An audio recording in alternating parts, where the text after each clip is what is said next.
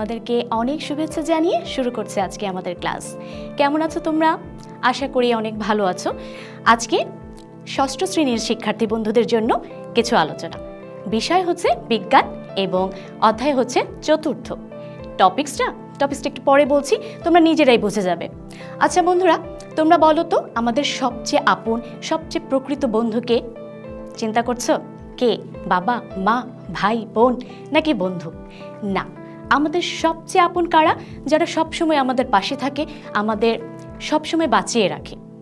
এই প্রকৃত বন্ধু হচ্ছে আমাদের গাছ। আমাদের চারপাশে অনেক গাছ দেখতে পাই, উদ্ভিদ দেখতে পাই। নানা রঙের, নানা ধরনের, কোনোটা বড়, কোনোটা ছোট, কোনোটা উঁচু, কোনোটা মোটা, কোনোটা চিকন, নানা ধরনের গাছ। এই গাছ নিয়েই আমরা আজকে তোমাদের সাথে আলোচনা করব। আমাদের আজকের আলোচনার বিষয় হচ্ছে উদ্ভিদের বাহ্যিক বৈশিষ্ট্য। শিক্ষার্থী বন্ধুরা আমাদের চারপাশে যে গাছগুলো আছে, সেগুলোর মধ্যে যদি আমরা শ্রেণীবিভাগ করি, প্রথমত আমরা কীভাবে করি? এক, কিছু উদ্ভিদ আছে যাদের ফুল, ফল এগুলো হয়, আর কিছু উদ্ভিদ আছে যাদের ফুল, ফল হয় না। আমি জানি তোমরা এগুলো পূর্বের শ্রেণীগুলোতে পড়ে এসেছ। যাদের ফুল এবং ফল হয়, তাদেরকে আমরা বলি সপুষ্পক উদ্ভিদ। আর যাদের ফুল, ফল হয় না, তাদেরকে কি বলি? অপুষ্পক উদ্ভিদ।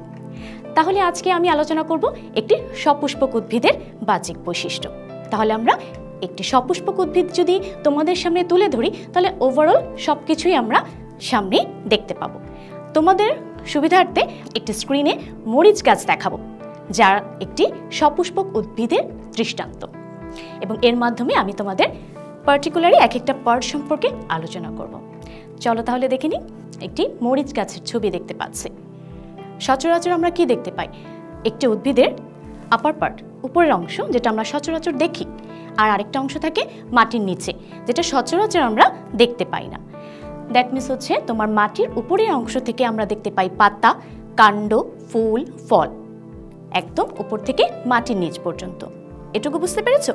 এই অংশটাকে আমরা বলি বিটপ কি বলি? বিটপ মাটির উপর থেকে একদম টপ পর্যন্ত বিটপ এবার মাটির নিচে যে অংশগুলো আছে, যেগুলো আমরা সচরাচর দেখতে পাই না, সেটাকে কি বলা হয়? মূল। তাহলে উদ্ভিদের দুটো পার্ট প্রাথমিকভাবে পেলাম, একটি হচ্ছে বিটপ আর একটি হচ্ছে মূল। শিক্ষার্থী বন্ধুরা, আমরা গাছের দুটি অংশ বললাম, এবার আজকে আমি যে অংশটি নিয়ে আলোচনা করব, সেটি হচ্ছে মাটির নিচের অংশ। মাটির নিচের অংশটাকে কি বলেছিলাম? মনে আছে নিশ্চয়ই? সেটাকে বলে মূল। চলো আমরা একটি ভিডিও দেখে আসি।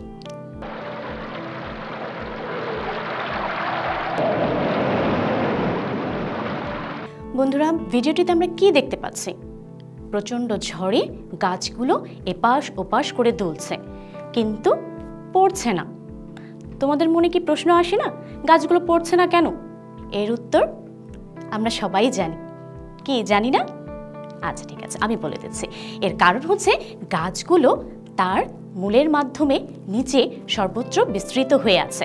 যার কারণে তার উপরের অংশটা এপাশ ওপাশ দুললেও নিচের শেকড়গুলো তাকে শক্ত করে ধরে রেখেছে, তাকে সাপোর্ট দিচ্ছে, যার কারণে গাছগুলো দুলছে কিন্তু পড়ছে না। তাহলে এটা কিন্তু একটা মূলের কাজ। আমি পরে কিন্তু আবার জিজ্ঞেস করব, ঠিক আছে? অবশ্যই এটা মাথায় রাখতে হবে, অথবা তোমরা একটি কাজ করতে পারো। তোমাদের হাতের কাছে নিশ্চয়ই খাতা এবং পেন্সিল বা পেন আছে, তোমরা পয়েন্টগুলো লিখে রাখবে। যেন আমি যখন প্রশ্ন করব, তখন যেন লিখে রাখতে পারো। বা লিখে দিতে পারো, ঠিক আছে? তাহলে আমরা মনোযোগের সাথে প্রত্যেকটি পয়েন্ট অনুসরণ করব। এবার আমরা পড়ব মূলের বিভিন্ন অংশ।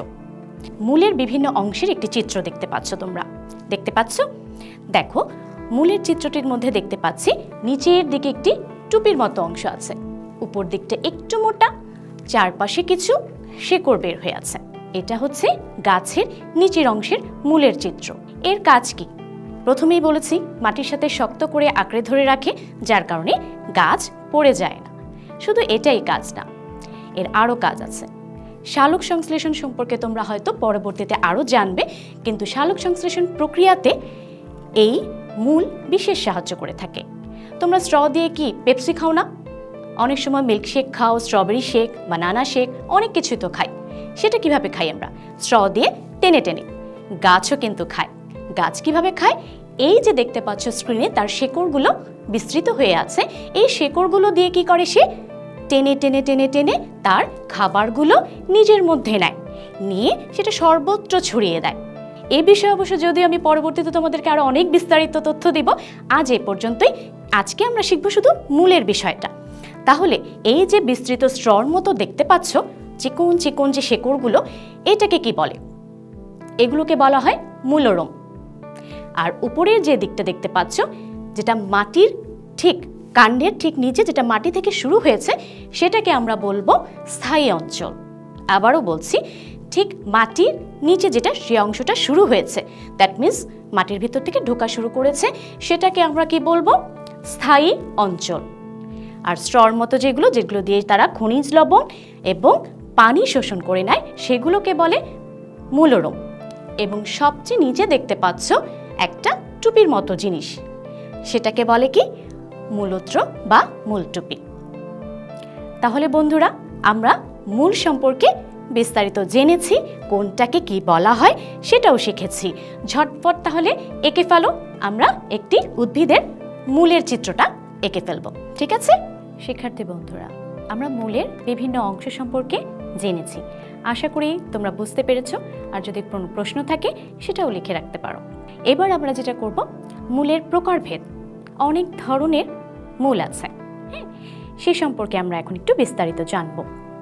কিছু মূল আছে, একদম সোজা হয়ে মাটির ভেতরে ঢুকে যায়। কিছু মূল আছে, বিস্তৃত হয়ে যায়। কিছু মূল আছে, আবার মাটি থেকে উপরে উঠে যায়। নানা ধরনের মূল। এই নানা রকমের বৈচিত্র্যতার ভিত্তিতে মূলকে কয়েকটি ভাগে ভাগ করা হয়েছে। প্রথমত মূলকে ভাগ করা হয়েছে স্থানিক মূল এবং আরেকটিকে বলা হয় অস্থানিক মূল। আমি তোমাদের সুবিধার্থে স্ক্রিনে একটি প্রবাহ চিত্রের মাধ্যমে সেটা প্রকাশ করছি।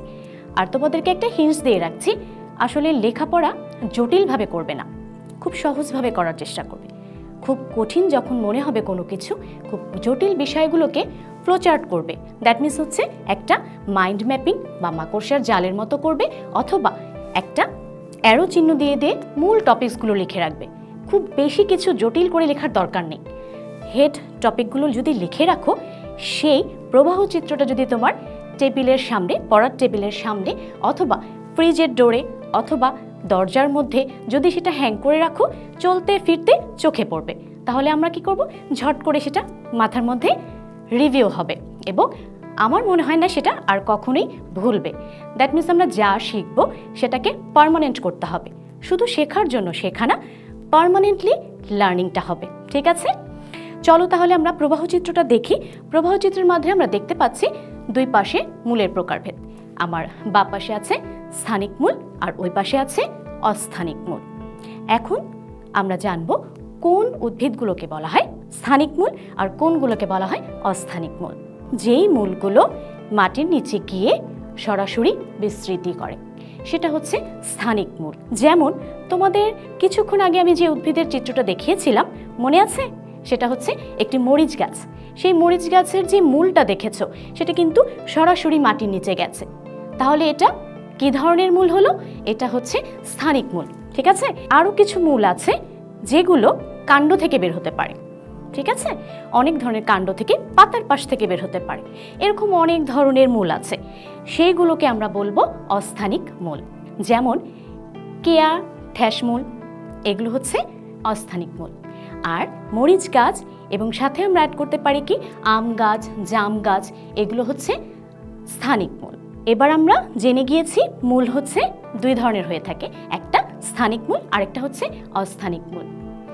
এই অস্থানিক মূলগুলোকে আবার ক্যাটাগরাইজ করা হয়েছে, ভাগ করা হয়েছে। তোমরা স্ক্রিনে একটু তাকিয়ে দেখো, অস্থানিক মূলগুলোকে আবার বলা হয়েছে একটা গুচ্ছমূল আরেকটাকে অগুচ্ছমূল গুচ্ছ শব্দের অর্থ কি? একসাথে সবগুলো তাই না? একসাথে করে আমরা ফ্রেন্ডরা যেরকম একসাথে মিলে আড্ডা দিই সেই রকমভাবে গাদাগাদি করে থাকা। সেই রকম মূলগুলোকে আমরা বলব গুচ্ছমূল তোমরা নারকেল গাছ দেখেছ? নারকেল গাছের মূলগুলো কিন্তু এরকম একসাথে করে থাকে। তাহলে সেটা কিসের উদাহরণ হবে? গুচ্ছমূলের কিন্তু কেয়া গাছের ঠ্যাস মূল। আবার দেখবে তোমাদের চারপাশে মানি প্ল্যান্টে দেখবে কাণ্ডগুলো এদিক সেদিক যাচ্ছে সেই কাণ্ড থেকেও শিকড় বের হচ্ছে। তাহলে আমরা সেটাকে কি বলব? সেটা হচ্ছে অগুচ্ছমূল। চলো আমরা গুচ্ছমূল এবং অগুচ্ছমূলের কিছু চিত্র দেখে নিই। ছবিগুলো চিনতে পারছ? প্রথমে যে ছবিটা আছে সেটা হচ্ছে গিয়ে কি? মূলা। এরপর দেখব আমরা একটা আম গাছের। তারপরে যে ছবিটা আমরা দেখতে পাচ্ছি সেটা হচ্ছে জাম। এরপরে বাপাশে যে ছবিটি সেটি কিসের ছবি? মরিচ গাছের মূলের।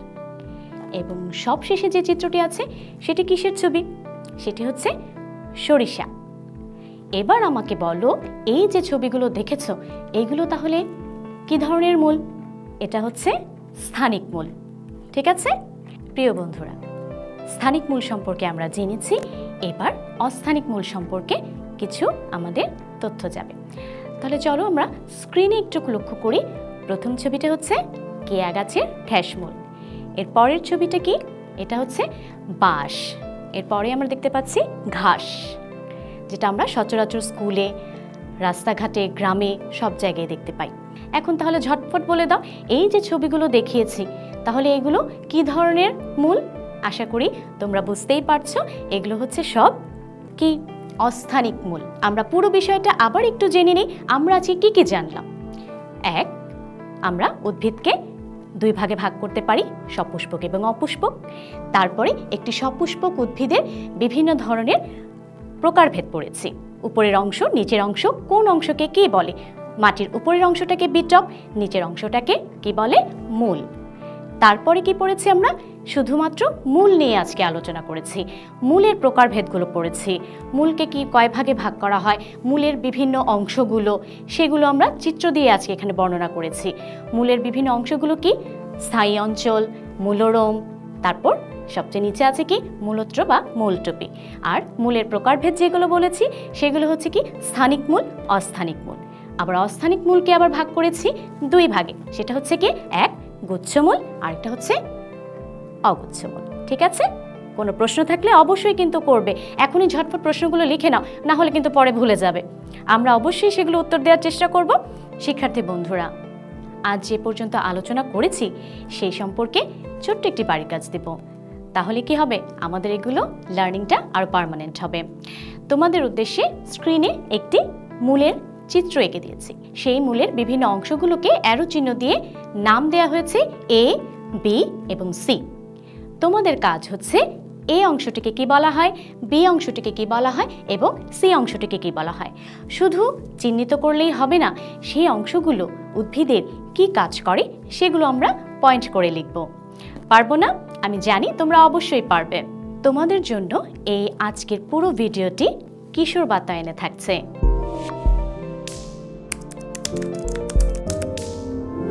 শুধু ভিডিও দেখলেই হবে না, কিশোর বাতায়নে আছে খেলার ছলে কীভাবে পড়াশোনা করা যায়। দ্যাট মিন্স তোমাদের জন্য রয়েছে কুইজের ব্যবস্থা। সেই কুইজ খেলতে খেলতেই দেখবে অনেক বিষয় তোমরা যে কখন শিখে ফেলেছো বাবা মারা বুঝতেও পারবে না। তাহলে অবশ্যই কুইজটাতে অংশগ্রহণ করবে। যদি তোমাদের মনে কোনো প্রশ্ন থাকে, অবশ্যই আমাদেরকে লিখে জানাবে। আমরা সবসময় চেষ্টা করব তোমাদের প্রশ্নের উত্তরগুলো নিয়ে হাজির হতে। আজ তাহলে এ পর্যন্তই। আশা করি সবাই ভালো থাকব, সুস্থ থাকব। নিজে পরিষ্কার থাকব, পরিবারের সবাইকে স্বাস্থ্যসেবা দেব, চারপাশ পরিষ্কার